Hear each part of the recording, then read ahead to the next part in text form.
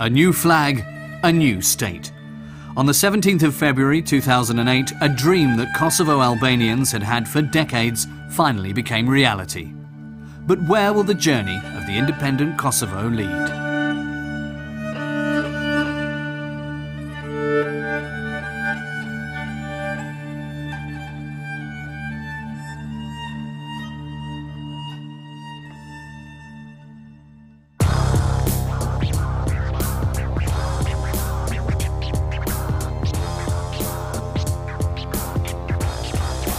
Since 1999, patrol flights of the KFOR have been part of everyday life in Kosovo. After the end of the war, international peacekeeping troops were stationed in the former Serbian province. The UNO mission, UNMIK, took over the civil administration to monitor the reconstruction and development of democracy and a state under the rule of law. Even after the declaration of independence, Kosovo remains under international surveillance. As well as the UNO administration and the presence of NATO, there's now also an EU mission.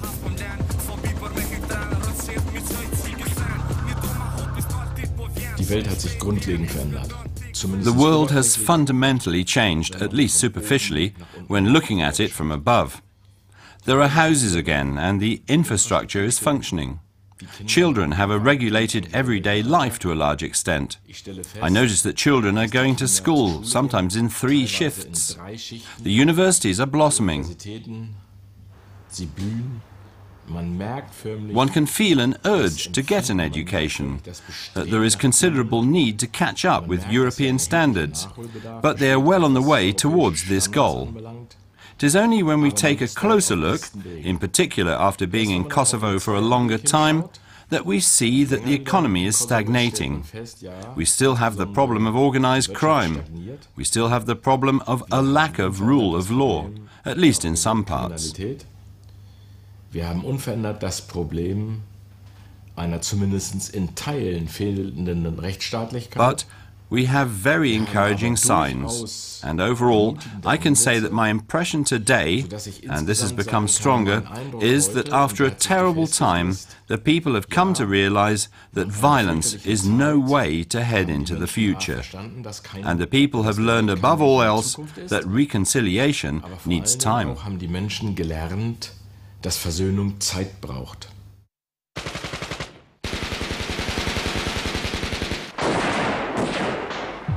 The war in Kosovo was the sad culmination of a decade of brutal suppression of Kosovo's Albanian population by Serbia's late president Slobodan Milosevic. Kosovo's president Ibrahim Rugova tried a policy of peaceful resistance but without success. When the self proclaimed Kosovo Liberation Army, UCK, began attacks on Serbian police in 1998, Milosevic fought back with full force. In March 1999, NATO intervened. It was the first military intervention in NATO's history. While NATO bombed Serbian targets from the air, the majority of Kosovo Albanians were expelled from their homes. Milosevic's goal was the ethnic cleansing of Kosovo.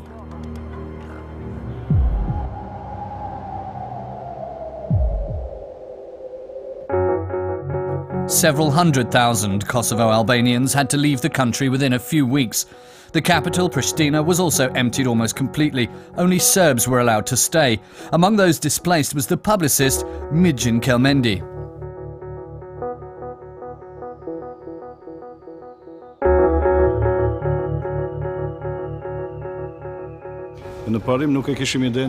We simply did not know what was going to happen to us, where they were going to take us, what they planned to do with all these people.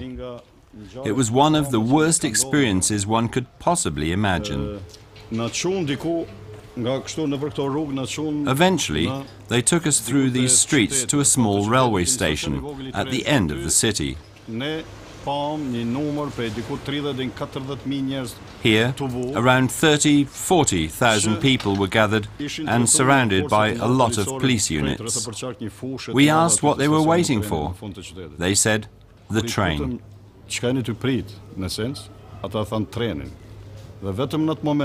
Then I understood what these sick people from Belgrade intended to do. Cleansing. Cleansing like in the film Schindler's List a shocking film. Then it happened. 50,000 people were deported from Pristina across the border to Macedonia.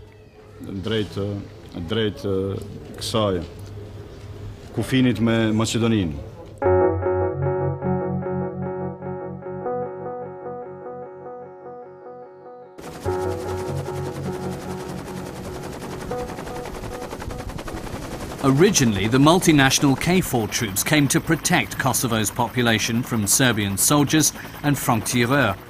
Now they also protect the Serbian minority. Since 1999, about one third of Kosovo's Serbs fled the country. More than 120,000 remained. Today, around 40,000 Serbs live in the region north of Mitrovica, close to the border with Serbia. The majority, however, lives among the Albanian population in small towns and villages, like here in Gračanica, just a few kilometres south of Pristina.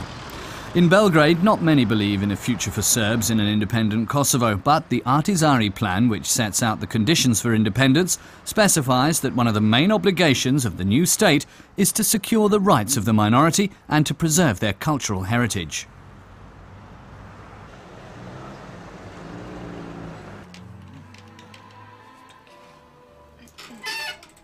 Živojin Rakocevic is the editor-in-chief of the small Serbian radio station KIM Radio. He believes that tensions between Serbs and Albanians are created artificially, but moderate Serbs like him do not get much attention in Belgrade.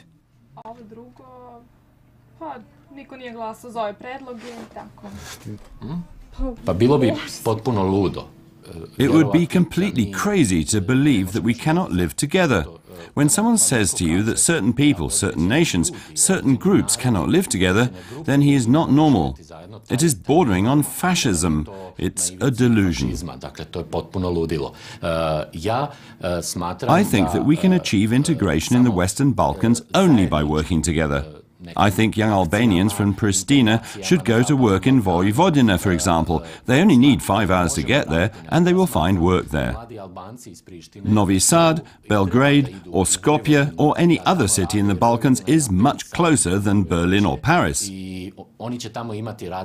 It's much better if they can earn their money here and return to their families, and we can work together to develop our relationships with each other here, instead of them heading off to somewhere in the world without returning and there they have romantic illusions about an independent and sovereign Kosovo.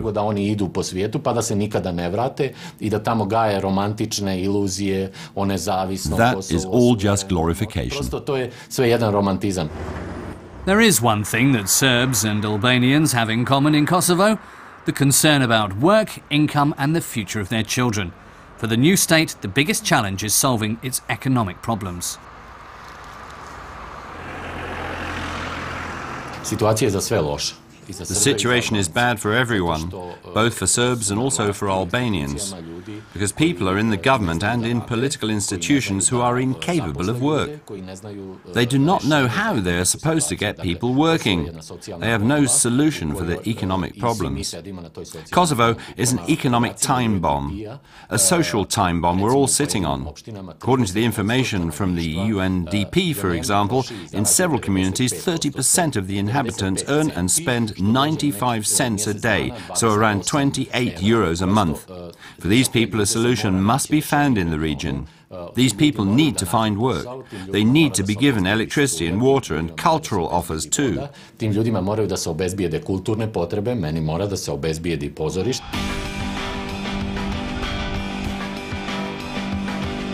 There is not much sign of poverty in Pristina.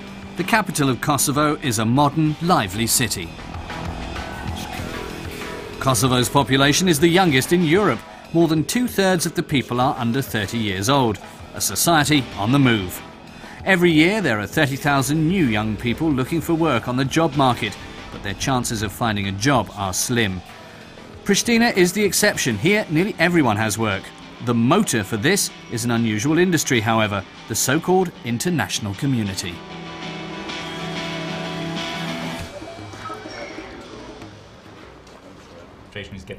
Ben Crampton, a British diplomat, has lived in Pristina since 2004. He worked on the Ahtisaari plan and in the preparatory team for the EU mission. There's an element of, there's a veneer about Pristina. Much of the, if you like, the, the apparent wealth of Pristina is based on the international community. It is apparent more than real take away the international community, take away the money that the, the, international community presence provides, and the economy of Pristina would look quite different. Thousands of jobs were created as part of the UN administration and the many non governmental organisations which came to the country after the war ended. The international community is therefore one of the most important employers in the country. A functioning domestic industry and foreign investors are practically inexistent in Kosovo. A bit more of a questioning uh, about the unity of the UN and Blerim Shala commentary. Well, I mean, it is in some respects remote. I mean, there are there are no di direct flights to many parts of Western Europe. Um, lifestyle is different here. You do feel the effects of of not only the war but underdevelopment as well. Electricity is a problem sometimes. Water is a problem sometimes. Um, but having said that, I mean, it doesn't feel to me very much like a post-conflict environment. You do see damage out in the countryside when you're driving uh, along. But is there a brighter future? Absolutely yes. And the brighter future uh, will come. Um, it'll come through economic development. It'll also come through. Um, it'll come through uh, European enlargement in due course. This has worked throughout Central and Eastern Europe. It's worked throughout the Balkans. It will work in Kosovo as well.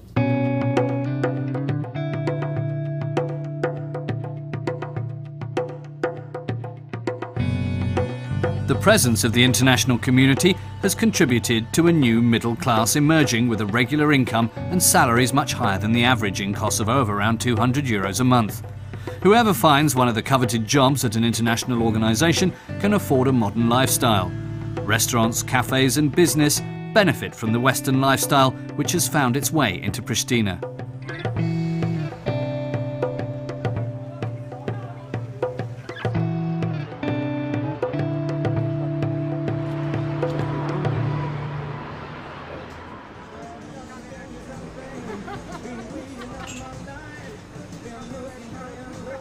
Riza Dulli is a modern Albanian woman. Her life has also changed thanks to the presence of the international organisations. She is convinced that with their help it will prove possible to establish a state based on a European pattern. In 1994, I started working for the international community. At the time, the situation in Kosovo was particularly critical. Many people were laid off from work, around 80 percent. Nobody knows the exact figures. Then I began to work for an American aid organization. I wanted to help Kosovo. We distributed aid, mainly flour and other types of food. In 1999, a lot then changed in Kosovo. More than 400 international organizations came to the country and employed a lot of people. There were very big changes, especially for the young people who now had the opportunity to find work with an international organization. One noticeable thing is the high proportion of women who work in qualified positions at the international organisations. This is a phenomenon which is indicative of the social change in Pristina.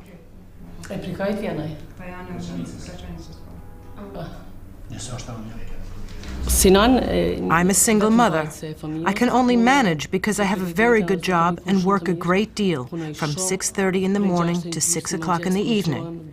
So I'm very busy and also have to look after my daughter. What worries me every day is the fact that we do not have a good welfare system that supports people like me. Of course, I am not the only person who is affected. It also affects all the pensioners and handicapped people. There are no prospects for all these people.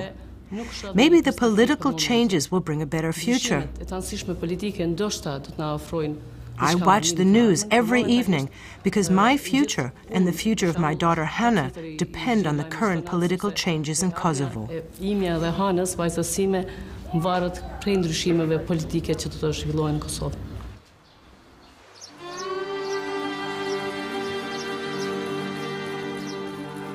Outside of Pristina, a life like the one Riza Dulli leads is almost unimaginable.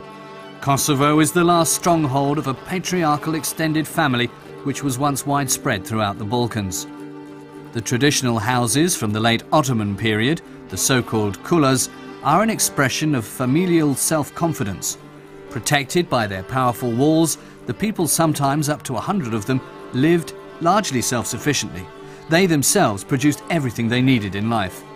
To date, the biggest families in Europe live in the villages in Kosovo. Households with 20 family members are not unusual.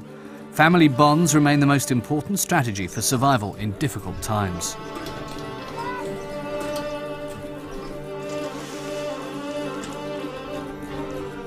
është vërtet se ka kohë që mrena shoqënisë shqiptare Patriarchal family structures have been typical of Albanian society since time immemorial. But I believe that these patriarchal families were a consequence of the difficult economic conditions under which the Albanians lived in the last century, in the former Yugoslavia. They are also a consequence of the discrimination in the Kingdom of Yugoslavia, and during the first two decades after the Second World War, the period of communist Yugoslavia.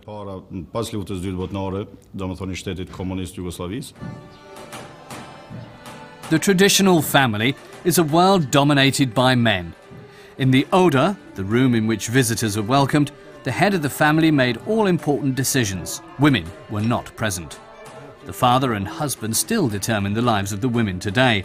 While the sons remain in their parents' house and manage the mutual property, daughters move to the families of their husbands and are completely economically dependent on them. Hardly any women in the villages have regular gainful employment.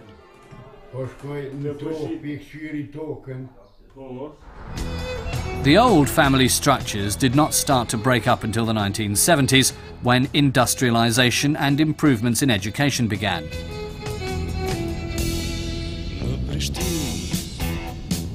For many, the prelude to a new life in the city.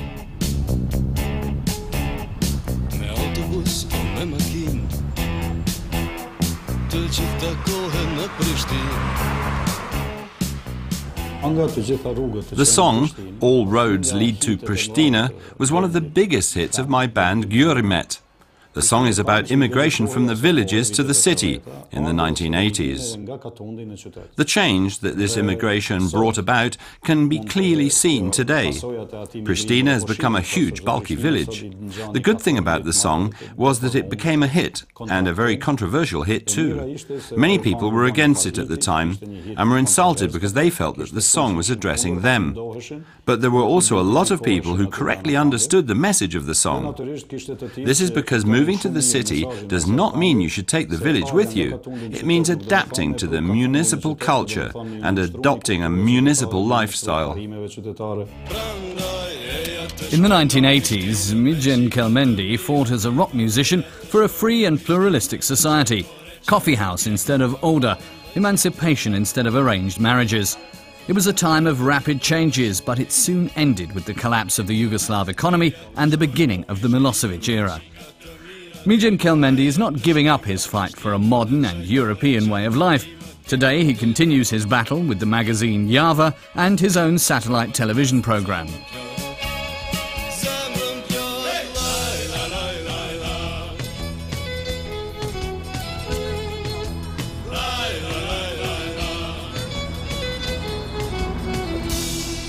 One representative of the young urban generation is Besa Shahini. Her family emigrated to Canada when the first bombs fell on Pristina. Like many exiled Albanians, she received an excellent education in the West and now wants to help her country. With a group of young women, she writes scientific studies on the political and social situation in Kosovo. She knows about the current situation of the Kosovan family from many discussions with those who are affected. The family situation um, in in Kosovo is, I mean, varies from from town from Pristina to to the rural areas. I think there's um, in the rural areas the families are big. Um, people live in households with more than one nuclear family. It's usually you know the older parents, their sons with their wives, and then their children. These large households have existed in Kosovo, and they have served as a means of uh, um, social safety net. The continuing economic crisis has stopped the breakup of the extended families. The model of close cohabitation, which has lasted successfully for centuries, is, for many, the only protection against sinking into poverty. The Nura family also has to stick together to make ends meet. Two of the brothers work abroad, but support for the family extends beyond all borders for them. Another factor that had contributed to these large families is migration. In the 70s, the opportunities for Kosovar um, men was there to for them to go abroad in Germany, Switzerland, and other places in Europe and work as a um, as a guest worker, and which meant that there would be one person abroad working very hard, sending money back uh, to their houses, um, and supporting you know 10 15 family members through through that uh, salary um, which I think that has really much contributed into this the, the, situation that we have today where you know in the villages there's large families um, that live together and are supported by uh, one or two family members that are living abroad. Social bonding with the family remains important even when this is split into several households Brothers often divide their property and each establishes his own house, with the desire that his children and grandchildren will continue to live together. We are five brothers. I am the eldest. Three of us are here. Two are in Switzerland. This house belongs to the fourth brother. This one here to the smaller brother. That one over there, that is nicely painted, belongs to one of the brothers in Switzerland. Mine is that one there, right at the end. We may be five brothers, but we live separately. The three of us who are here, farmers. Sometimes the other two support us, but they do not have to do this if they don't want to.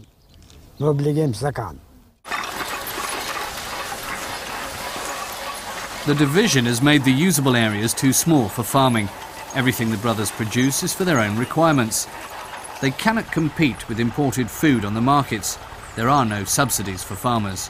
They therefore rely on money being transferred by their brothers from abroad.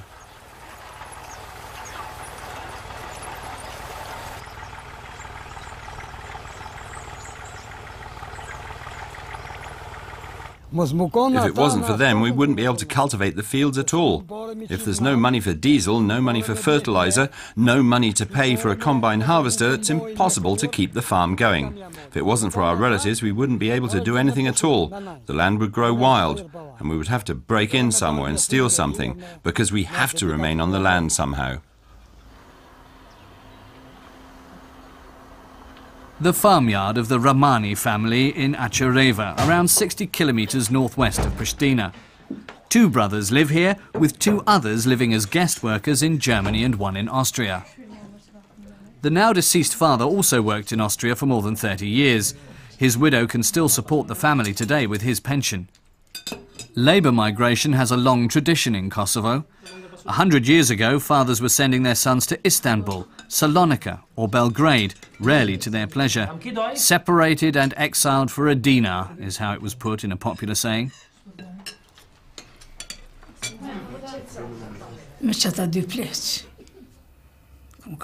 When my husband went to Austria, only his two old parents were here. Apart from them, I had nothing here.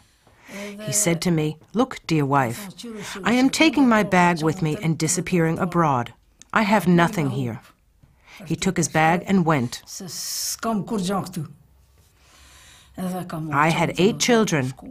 Three have died, and five are still alive. That's the way it was. As it turned out, he did not come home at all for New Year. In fact, he did not come until July for the grain harvest, to help and to mow the meadows.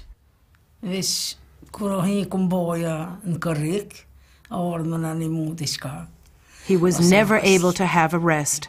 Instead, he saved up his holidays for the summer months so he could come help us. That's the way it was.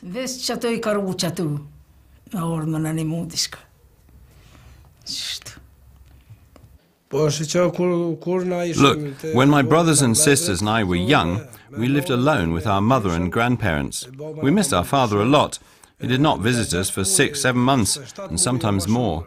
We felt really bad that we did not see him for more than six months. And it was also terrible back then. There was no telephone, no other possibilities of exchanging information. So we could only find out how our father was by exchanging letters.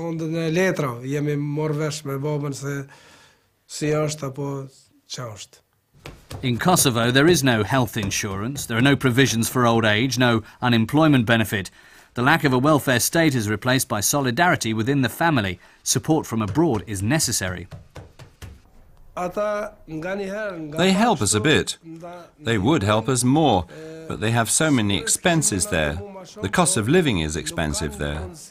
The money they send us, I use this for our children's education and for the brother who lives in Kosovo and is studying medicine in Pristina.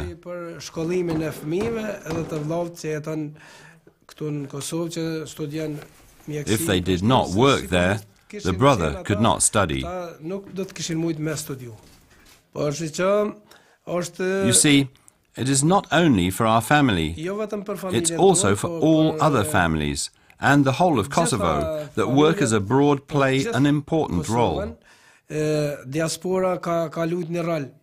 Rol për arsye se mos ishin ata sigurisht do do të kishim vujt edhe më shumë. If it wasn't for them, when war broke out, we would have suffered even more, because apart from their support, they also offered many families accommodation and are still offering it now.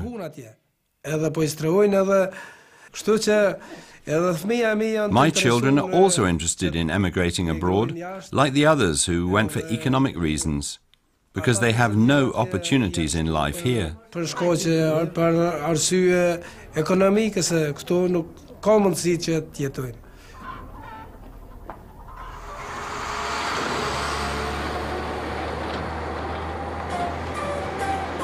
Ljubisht, a small village at the foot of the Black Mountains on the border with Macedonia. Until 1970, there was no electricity here. The people lived as shepherds and from the income from agriculture.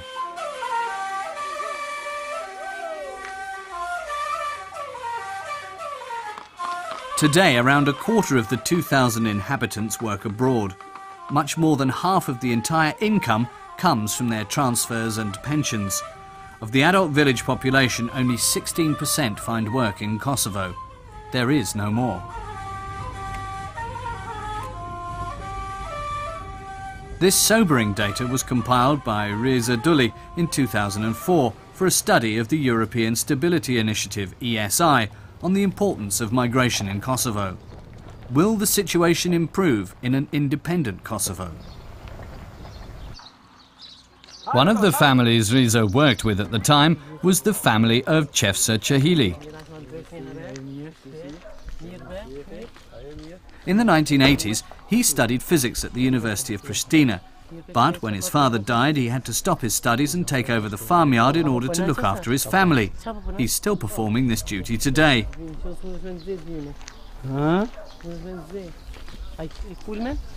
Kul të përgatitën një hafas, nisha me me tira të klozën, të na me përgatit për këllë. He is unable to report on any change in the situation.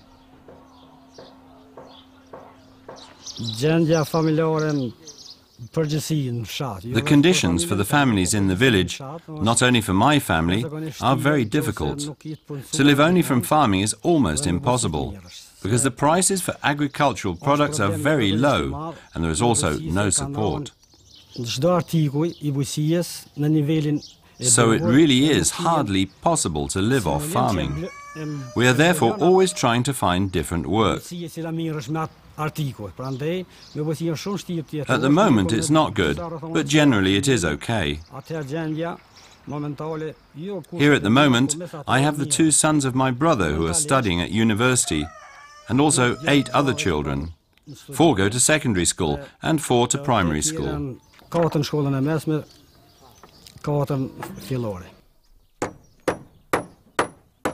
Chefsa Chahili has little hope for the future. He doubts that the country's independence will lead to Lubishta's economic revival in the near future.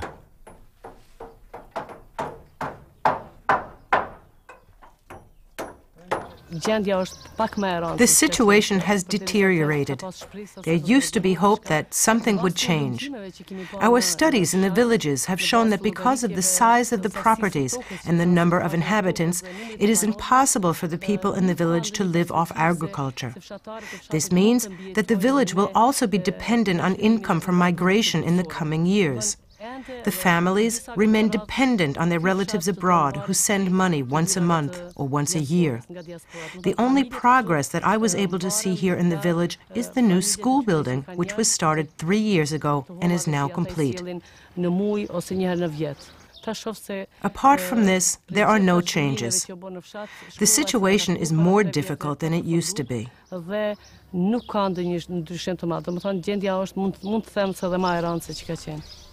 The school is the great hope of the people in Lubisht. The lack of a state budget meant the new building was delayed for a long time. To speed it up, the people from the village collected money from Kosovans who work abroad. They wanted to give their children what they themselves do not have a good education. Po si jo u po vetëm. The situation has improved. Before, we had to travel very far to go to school. At least the primary school is now here in the village. The children can learn here.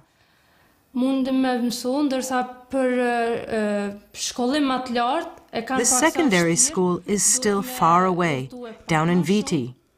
But many are not in a position financially to go to secondary school. Only those pupils who have relatives abroad in the West can do this.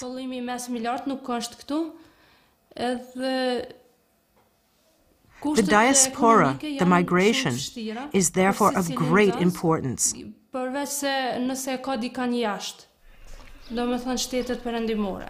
Pupils whose parents are abroad are given a better education. Whoever has no one abroad will, under some circumstances, remain without education.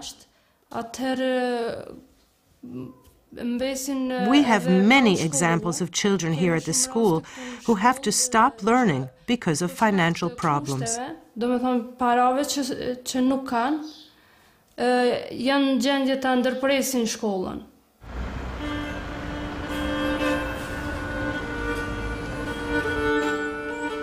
Prizren, the second largest city in Kosovo, close to the Albanian border. In the local high school, a very important visitor is coming. The new Minister of Education, Enver Hoxhaj, is inspecting the schools in the country. He studied in Vienna and has an ambitious goal. Deficiencies in the infrastructure are going to be recorded and rectified, and the young Kosovans will receive the best possible education.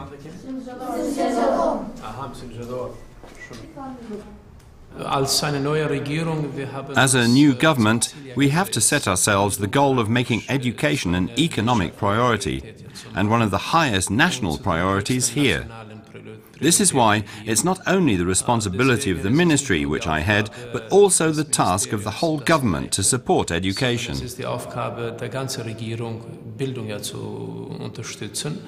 Uh, we will try with all means, using the greater budget that we will have this year, to develop certain curriculums, certain syllabuses, so that in the short to medium term we will have people who can work abroad, but also people who may be an attractive proposition for investors here in the future too. Äh, im Ausland arbeiten können, aber auch Leute haben, die ähm, attraktiv Äh, Eh, künftig für Investoren hierher sein können.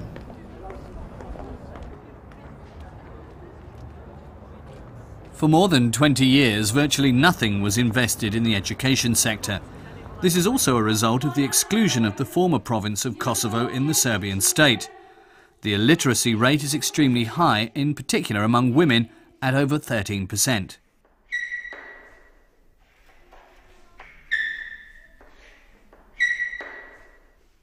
Maybe the lack of school buildings and teaching aids will soon be a thing of the past. But it will hardly be possible to solve the problem of the lack of jobs with better education alone.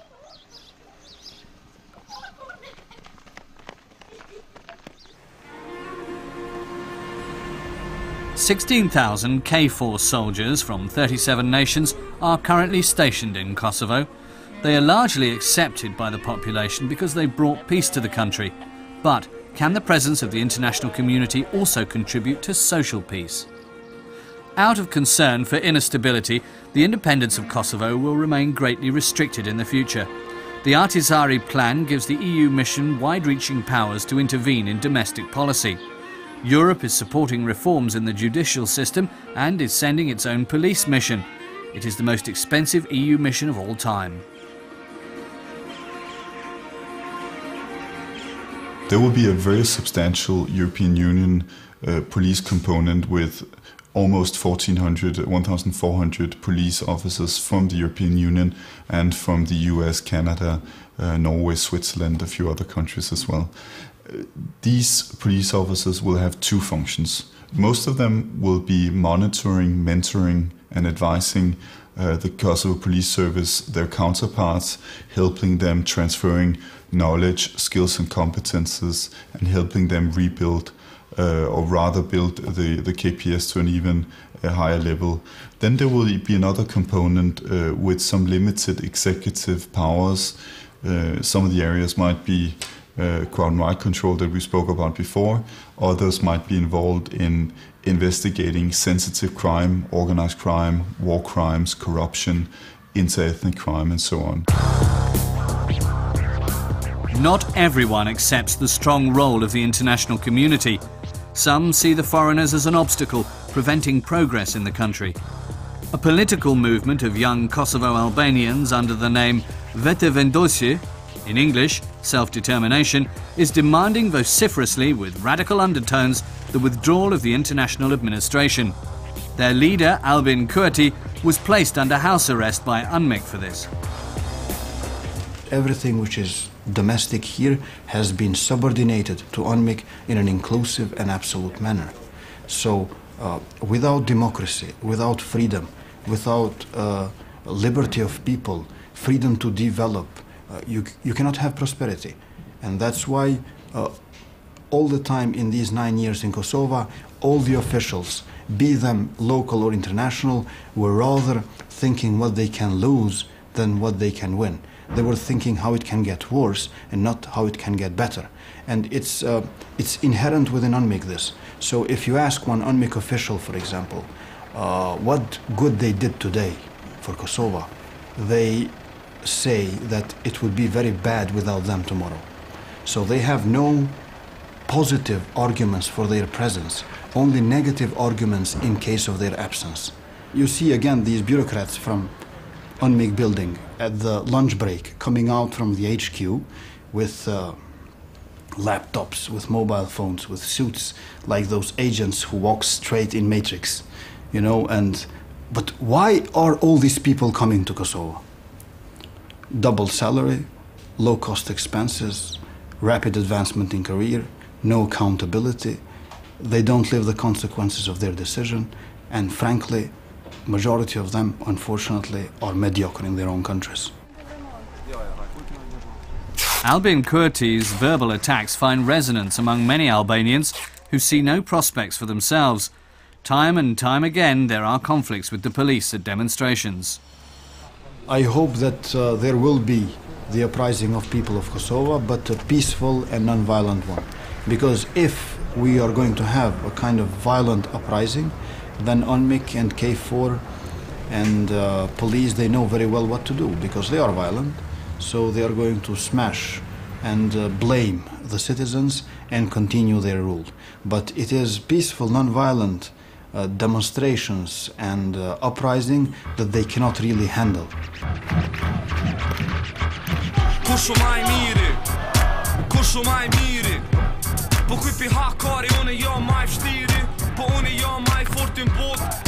Now, Kosovo continues to be a sort of a powder keg, which content is being nurtured by the social misery of unemployment and poverty, with economic stagnation, and also of uh, huge political disappointment with local and international politicians. But only a spark is needed.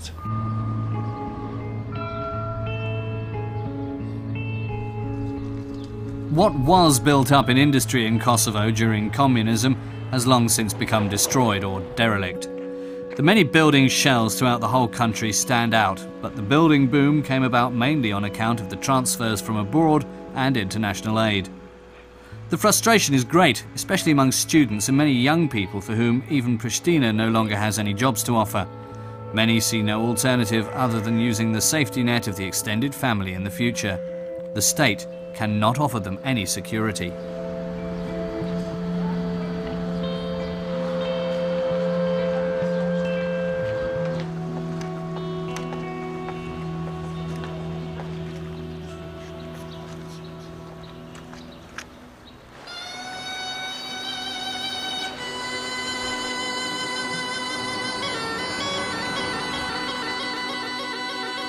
In Kosovo, there are hardly any export goods, apart from scrap metal, which is exported to Macedonia, and mushrooms, which are exported to Italy. Without revenue, the state coffers will remain empty. Politicians may not be getting tired of talking about a recovery, but there is a lack of credible ideas. People are relying on the closeness of the families in the rural households to continue to guarantee social peace.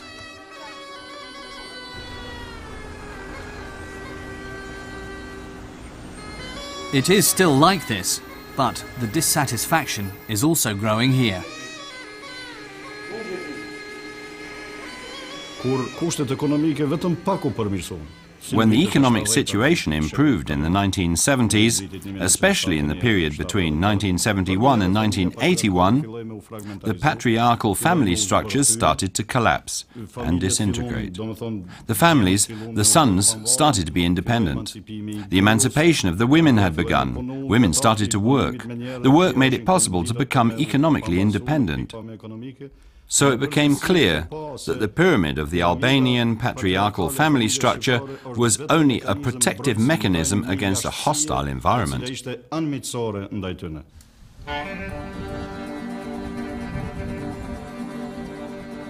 State independence alone will not give rise to a modern Kosovan society. As long as the state cannot afford a functioning welfare system and there is no regulated job market, there will be no room for personal development and freedom.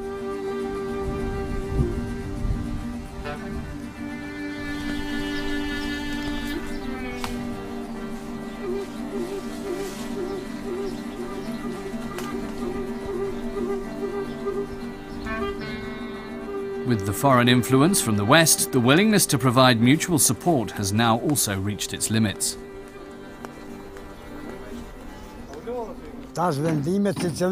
Everyone has long since made decisions for themselves alone. Each brother makes his own decisions. When we lived together, our father decided. When he became sick, I made the decisions. Now everyone does as they want. They go where they want, they build what they want, and they can also sell their property and go abroad. That is all completely normal.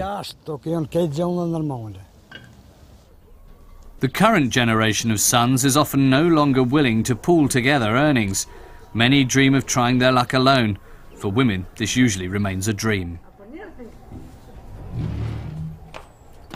For my future, I would like to go to university. I'm interested in studying sport because I do a lot of sport, but I don't know if it will be possible. I hope I can enroll for something. Without the help of my family, I cannot do anything. If my family or my father do not support me, I cannot go to university. I cannot pursue any activity or have success anywhere.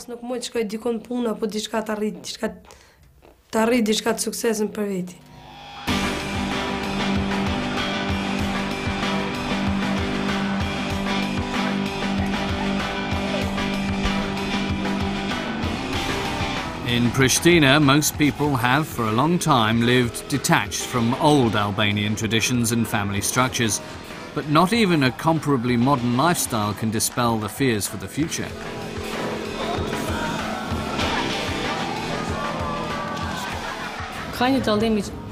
There is a staggering difference between me, who looks after myself and my child, and women who live in an extended family and are supported by their family. The difference is that I am independent. But if the budget situation in Kosovo does not improve and the state offers nothing, then this will be a big problem for my daughter and me because we will then be dependent on the events and changes in Kosovo and foreign investments. I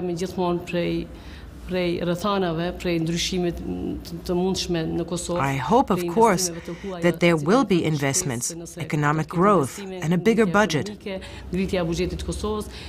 That is the problem. The women in the villages have a different lifestyle than me, but they also have a certain security because they help each other. I, however, have to look after myself and my Hana alone.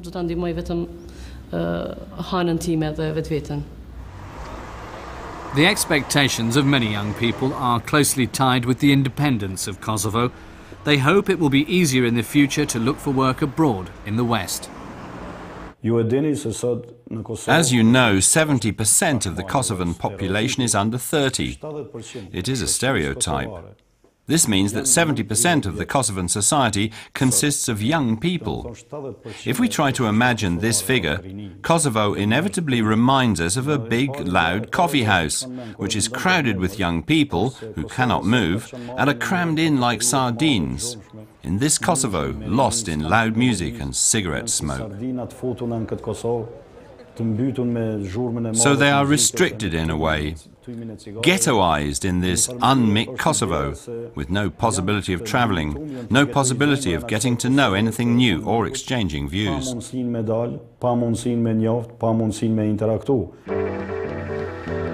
Those who grew up in the 1970s and 1980s, like Migjen Kelmendi, remember what freedom to travel means. There were no travel restrictions and visa walls for Yugoslav citizens at the time. As migrant labourers and as tourists, they were able to personally experience Western lifestyles and values. For the current generation, this is no longer the case. Starting in the early 1990s, European countries sealed their borders out of fear of illegal migration. Kosovars can no longer travel or work abroad. This increasing isolation makes the already dramatic economic situation in Kosovo a lot worse.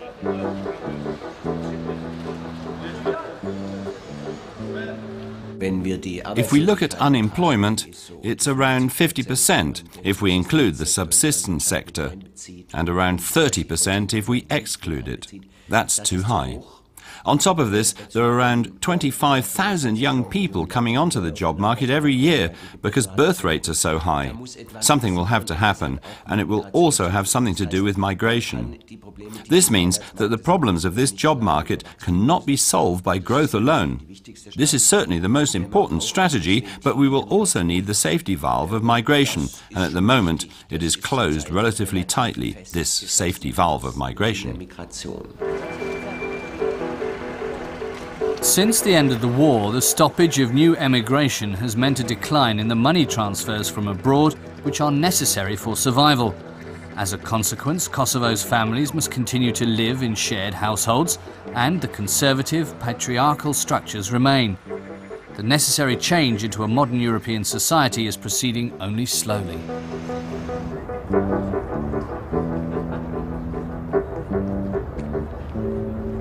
On the one hand, the international community gives. It gives in terms of aid. It gives in terms of the international presence and the stability that we're we're we're, we're trying to create or helping to create here in Kosovo. On the other hand, it takes away. It takes away the lifeline, as ESI called it, of migration uh, with remittances of money back from West European states that is an issue. It's an issue throughout the Balkans. Uh, it's an issue in Macedonia, it's an issue in Serbia, it's an issue in Bosnia, but it's particularly an issue in Kosovo because of the, the particular age profile of Kosovo. Extremely young population, a great many people coming onto the labour market every year with a very small market uh, into which they can feed. So it, there, is a, there is a dichotomy. Uh, on the one hand, we present the uh, European Union as being sort of the foundation stone of, of freedom, and yet we restrict the freedom to travel.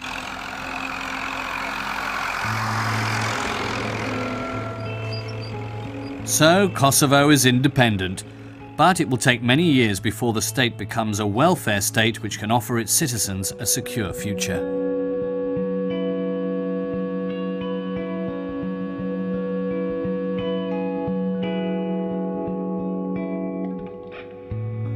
To be able to ensure stability in the long term and to prevent unrest in society, it will be the responsibility of the international community to support Kosovo more than it has so far in the development of sustainable economic strategies.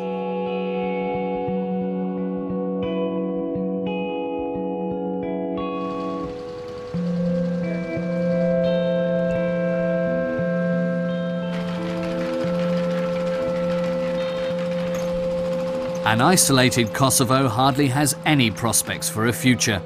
Only integration in a common Europe can give the country and its young people a realistic opportunity for economic survival.